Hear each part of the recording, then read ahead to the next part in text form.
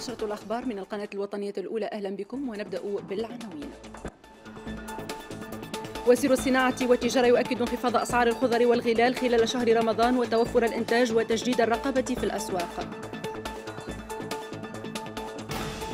هجوم بالرصاص يستهدف أقباطا. جنوب مصر يوقع عشرات القتلى والجرحى والرئيس المصري يدعو إلى اجتماع أمني مصغر.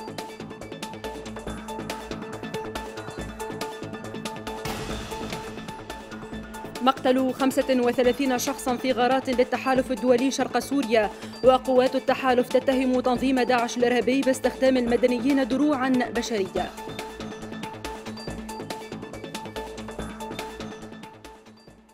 أهلا بكم من جديد. عقدت لجنة المصادرة راجعة بالنظر إلى وزارة أملاك الدولة والشؤون العقارية ندوة صحفية أعلنت فيها عن مصادرة ممتلكات عدد من رجال الأعمال من بينهم الموقوفون في إطار مكافحة الفساد وهم على التوالي ياسين الشنوفي شفيق الجراية نجيب بن إسماعيل علي القريري منذر جنيح هلال بن مسعود كمال بن غلام فرج منجي بن رباح. أكد وزير الصناعة والتجارة زياد العذاري في ندوة صحفية عقدها اليوم أن المنتوجات الغذائية متوفرة بكميات معقولة دون تسجيل أي إشكاليات في التزويد وأعلن أن أسعار الخضر والغلال في انخفاض وأنه تم إمضاء اتفاقيات شراكة مع المساحات التجارية الكبرى للضغط على الأسعار وبين العذاري أنه سيتم تجديد الرقابة خلال شهر رمضان بتعزيز فرق المراقبة الاقتصادية. الحمد لله الإنتاج في كل المجالات مش يكون متوفر وبالكميات المطلوبة والمعقولة والضرورية وبالتالي معناها ما عندناش مشكل في التزويد حتى منتوج من المنتوجات هذه الحاجة الاولى نحب ناكد عليها. الحاجة الثانية هو إنه الأسعار معناها أيضا هي في منحى تنازلي كما شفتوا في الأسابيع الأخيرة وكنا اعلنا عليه وكانت كثير منكم تابعوه وعينوه. على مستوى الأسواق. نحب نأكد أيضا أن هذا المنحى التنازلي للأسعار سيتواصل في المرحلة القادمة في شهر رمضان وبعد شهر رمضان. وبالتالي أصناف الخضر والغلال الصيفية مش تكون في متناول التوانسة وبأسواق أسواق معقولة. ومش تكون أسواق مستقرة في عدد من المواد خاصة بالنسبة للحوم والبيض. الفوج 52 طلائع بحرية بصفاقس تتعدد مهامه بالمنطقة الساحلية الممتدة بين الشابة والاكتف للتصدي للقوارب المشبوهة والمشاركة في عمليات ذات طابع عام والمشاركة في الحرب على الإرهاب وتأمين المنشآت البترولية. وفي زيارة إلى مقرهم بصفاقس تابعت كاميرا الأخبار عرضا لسلسلة تدريباتهم المختلفة. فوهات رشاشات مصوبة نحو الهدف المحدد. قوات الفوج 52 طلائع بحرية بصفاقس على أهبة الاستعداد للرصد والتفتيش والصد. الهجوم سريع والجاهزية لم تترك أدق التفاصيل لإيقاف الباخرة المشبوهة لتكلل العملية بنجاح. هي مشاهد لعملية تدريب بيضاء في عرض السواحل التونسية الممتدة.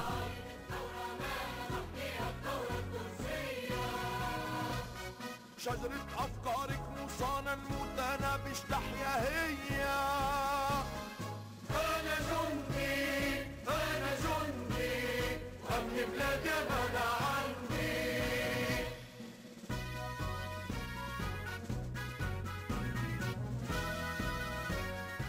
بفضل الجاهزية العملياتية والميدانية والبدنية للأفراد اسمح للفوج هذايا رغم الصغر سنه بتاعه باش يشارك في معظم العمليات اللي صارت مش عام بالبنقردان وساهم زاد في مكافحة التهريب وخاصة بحر في منطقة الكتف اللي هي المنطقة الحدودية مع ليبيا. في مقرهم أيضا الفوج 52 طلائع بحرية بصفاقس بضباطه وجنوده يتدربون يوميا على كل أساليب القتال بحرفية عالية.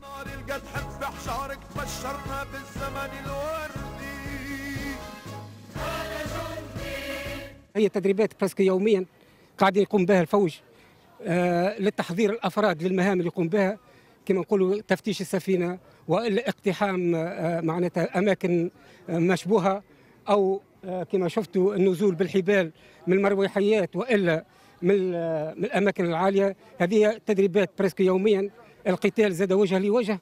القتال بالذخيرة الحية في عمل في تمارين مشتركة سواء مع جيش البر ولا مع جيوش أخرى. وتبقى الإرادة واليقظة والجاهزية سلاحهم الأول. لصد كل الأيادي الغادرة التي تفكر في تهديد أمن كل شبر من أرض تونس واستقراره.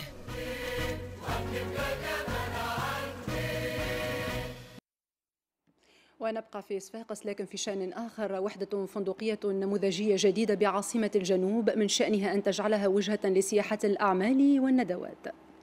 على مرمى البصر من معرض صفاقس الدولي ومن وسط المدينة يستعد هذا النزل الجديد ليضع لمسة مختلفة على صفاقس كوجهة لسياحة الأعمال والندوات. بدينا بال architecture moderne ال architecture يعني high-tech كما موجودة في ماليزيا وفي دبي. خرجنا على العادي والكلاسيكي الموجود في تونس.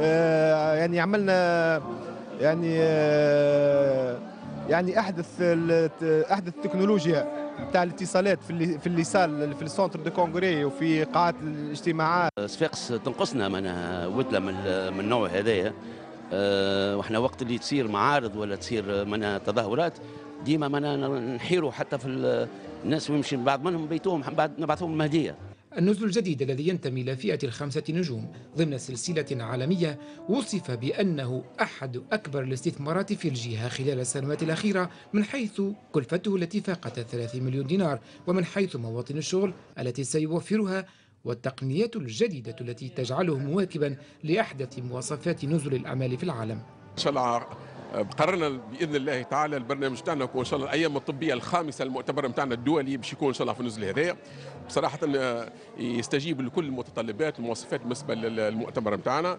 من سال بلينيير الصاله الكبرى نتاع الاجتماعات المحاضرات من لصال نتاع لي زاتيلي الورشات التطبيقية. أنا نعتبره اوتيل آه ذو خدمات آه صحية. نشوف أنه معناها الخدمات تكون صحية فيه. أي معناها الزبائن ولا الحرفاء يأتوا من كل العالم من خاصة البلدان الإفريقية كلها يجوا لهنا. وصفاقس نشوفها انها عاصمة آه، صحية آه، فيها برشا أطباء فيها برشا اختصاصات فيها برشا آه، مساحات. مبادرة خاصة لامست روح المغامرة لم تغب فيها الصعوبات ولن تتوقف عن مواجهة تحديات مختلفة لعل من أبرزها مطار محدود النشاط والوجهات. أنهى وفد برلماني أوروبي زيارة إلى تونس استغرقت ثلاثة أيام عقد خلالها سلسلة من اللقاءات مع عدد من الوزراء والمجتمع المدني واطلع على مشاريع قيد الإنجاز يتم تمويلها بالتعاون مع الاتحاد الأوروبي. في ختام زيارة استغرقت ثلاثة أيام التقى خلالها عدة شخصيات واطلع على مشاريع مختلفة قيد الإنجاز بتمويل أوروبي في مجال العدل والتربية وإعادة التأهيل الحضري وإزالة التلوث تحدث الوفد البرلماني الأوروبي عن ما لاحظه من ديناميكية في الشعب التونسي والتوقيه إلى تحسين البلاد.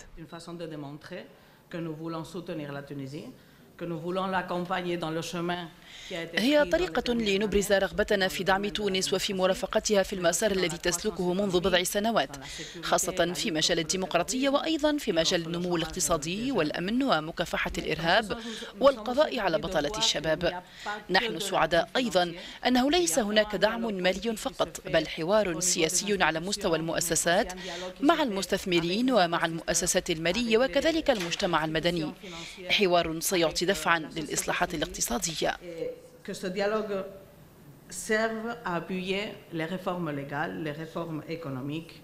الوفد الأوروبي شدد على أهمية الحوار بين الاتحاد الأوروبي وتونس لتنسيق الجهود في ظل عدة تحديات مشتركة ولمواصلة برامج المساندة خاصة مع التزام منذ مؤتمر تونس 20 و2000 بمضاعفة التمويلات المرصودة.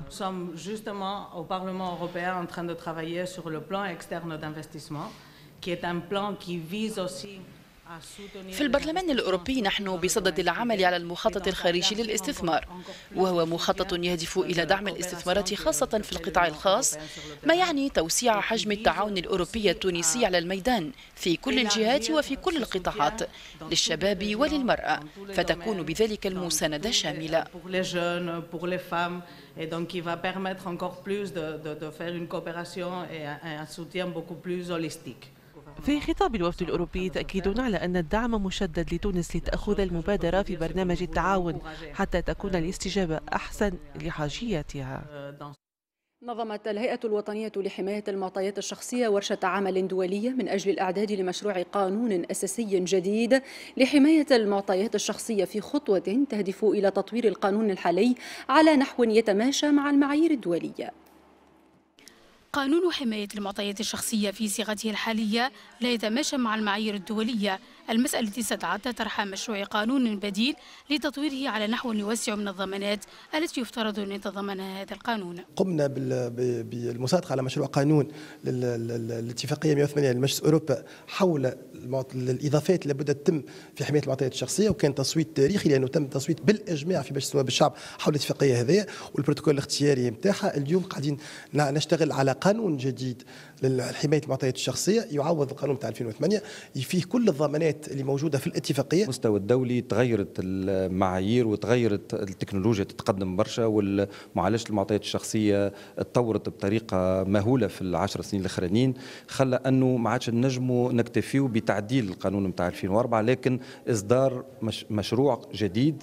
ويعتبر المشاركون في هذه الورشة الدولية أنها مؤشر جيد لتعزيز النقاشات فيما بينهم من أجل تطوير منظومة المعطيات الشخصية. المقرر الخاص يحب يعمل معاهدة دولية ضم كل دول العالم. هذا دونك في التمشي متاعه هو إرساء أو تنظيم ورشات عمل باش يفهم في كل جهة من العالم شنو ما شنو الثقافة اللي موجودة نتاع حماية المعطيات الشخصية وشنو ما الانتظارات من طرف المختصين في المسألة هذه والمجتمعات المدنية. إزاء هذه التطورات التكنولوجية. نحن في حاجة إلى قانون مفصل بشأن حماية المعطيات الشخصية. وتونس المنضوية ضمن الاتفاقية رقم 108 لمجلس أوروبا المتعلقة بحماية الأشخاص. هي نفسها في حاجة إلى قانون مفصل ودقيق. يضمن حماية المعطيات المتعلقة بالحياة الخاصة. ووفق وزير العلاقات مع الهيئات الدستورية والمجتمع المدني وحقوق الإنسان فإن وزارته ستعرض مشروع قانون حماية المعطيات الشخصية الجديد على أنظار مجلس نواب الشعب في سبتمبر المقبل. حقوق النساء بين القوانين والممارسات الاجتماعية والسياسية بعد دستور 2014 مثلت موضوع ملتقى نظمته رابطة الناخبات التونسيات. الملتقى مثل فرصة للتأكيد على مبدأ المساواة بين النساء والرجال في الهيئات المنتخبة والممارسات الاجتماعية والسياسية وفي هيكلة الأحزاب. في تدقيق بين الدستور والقوانين اختارت رابطة الناخبات التونسيات تنظيم ملتقى حول حقوق النساء بين القوانين والممارسات الاجتماعية والسياسية بعد دستور 2014 للإجابة على سؤال إلى أي حد تحترم القوانين مبدأ المساواة بين الجنسين. لاحظنا أن الأحزاب في مبادئها العامة في نظامها الأساسي في خطابها تنادي جميعا بالحقوق والمساواة بين الرجال والنساء.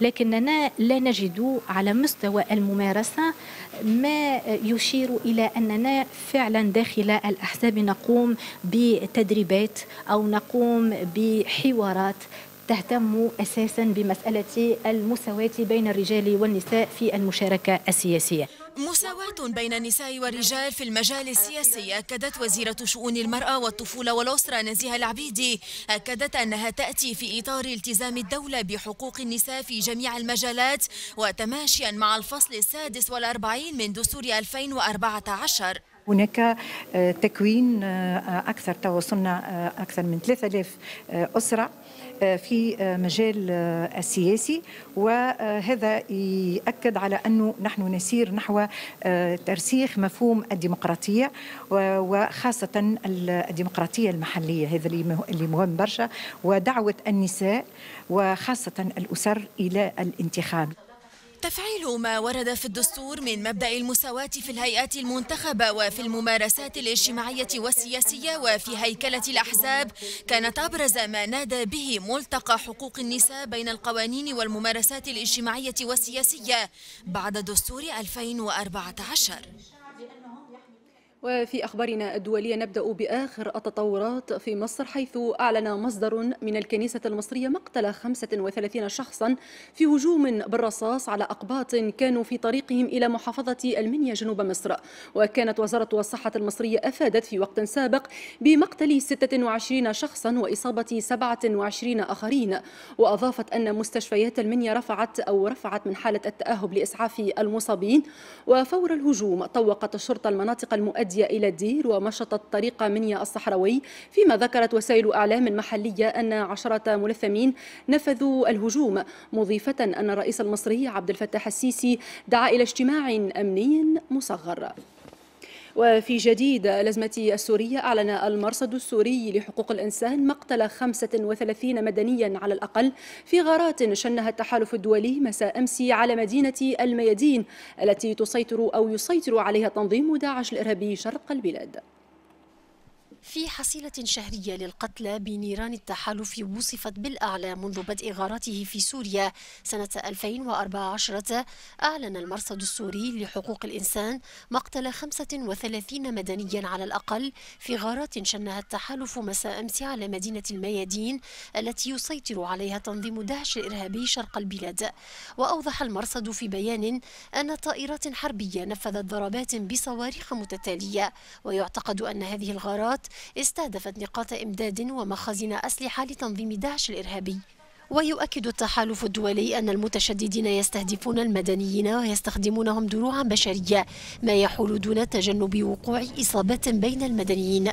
وفي هذا السياق دعا مفوض الأمم المتحدة السامي لحقوق الإنسان الأمير زيد بن رعد. دعا القوى الجوية العاملة في سوريا إلى إيلاء اهتمام أكبر بالتمييز بين الأهداف العسكرية والمدنيين.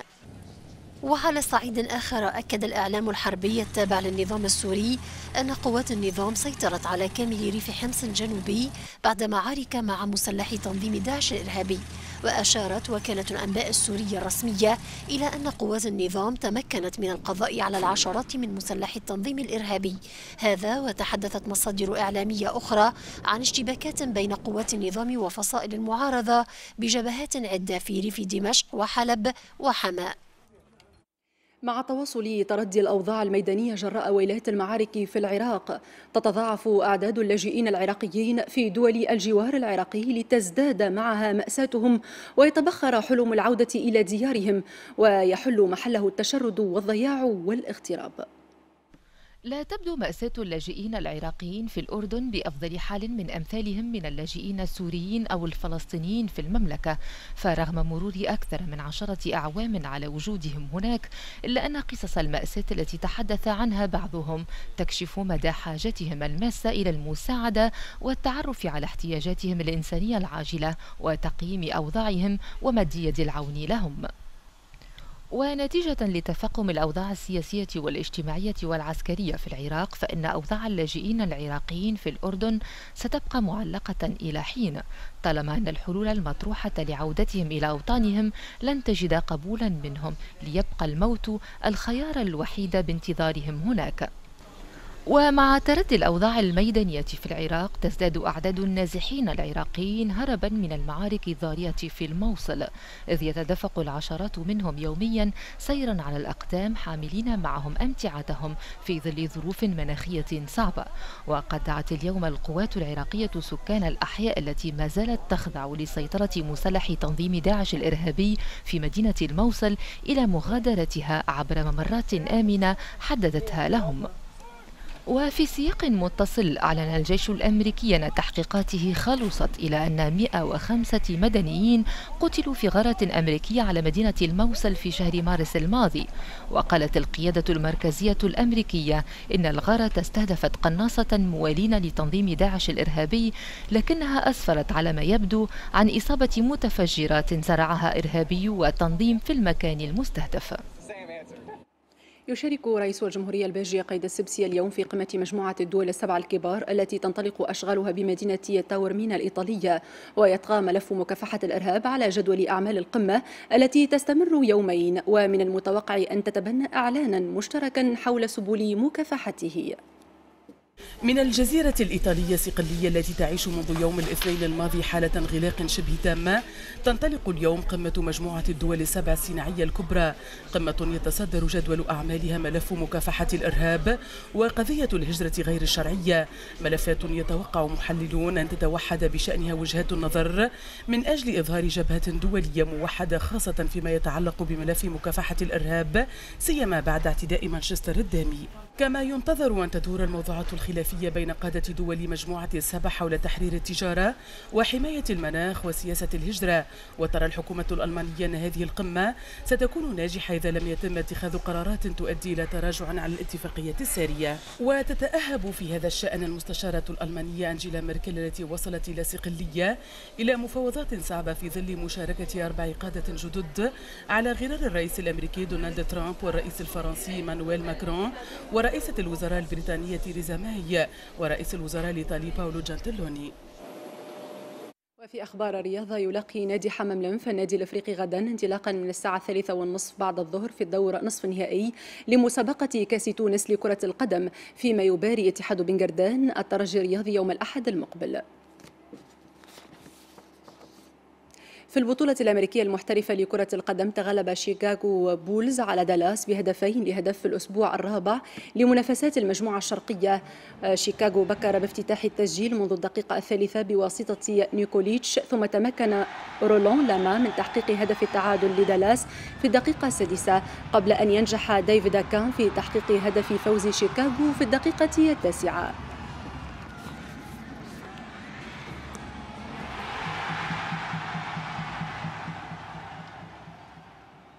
تأهلت الفرنسية كارولين غارسيا للدور نصف النهائي من بطولة ستراسبورغ الدولية لتنس المحترفات إثر انتصارها على التشيكية كريستينا بليسكوفا بمجموعتين دون رد.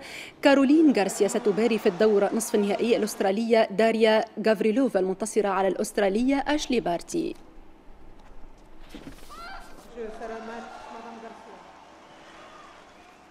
ونختم بهذا الخبر. يصور حاليا بالحمامات المسلسل السوري أوركيديا وهو من نوع التاريخي الخيالي. ويجمع هذا المسلسل نجوما عربية من تونس وسوريا ولبنان والأردن وسيعرض على قنوات عربية في رمضان. أوركيديا إنتاج درامي سوري عربي ضم جهابذة التمثيل العربي.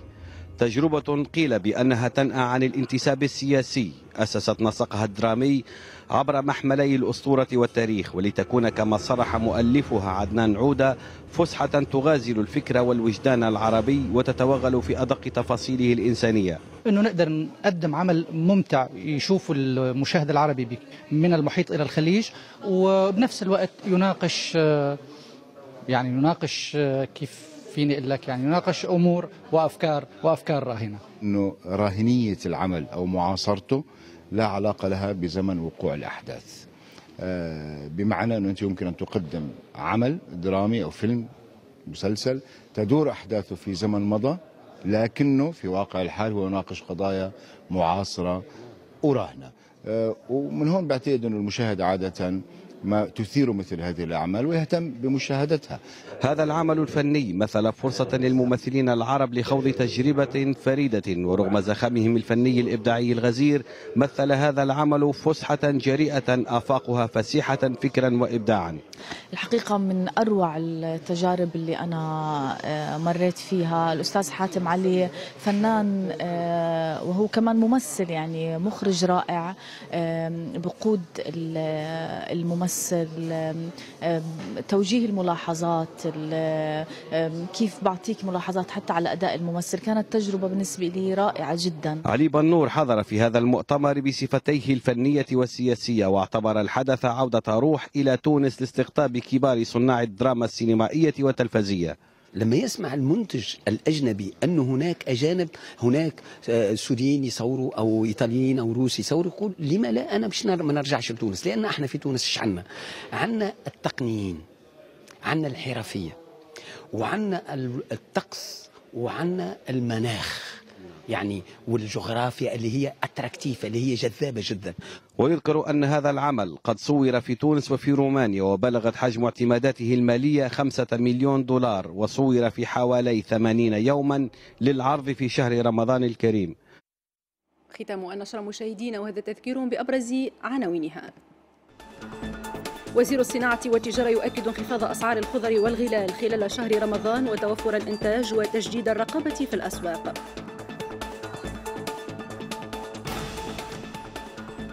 هجوم بالرصاص يستهدف أقباطا جنوب مصر يوقع عشرات القتلى والجرحى والرئيس المصري يدعو إلى اجتماع أمني مصغر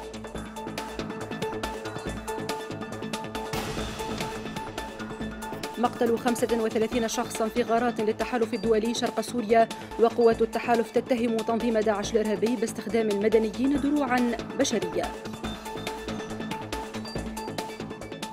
ونشير مشاهدينا إلى أنه بإمكانكم متابعة هذه النشرة وغيرها من الأخبار على بوابة التلفزة التونسية تونيزيا تيفي نقطة شكرا على المتابعة والاهتمام. إلى اللقاء.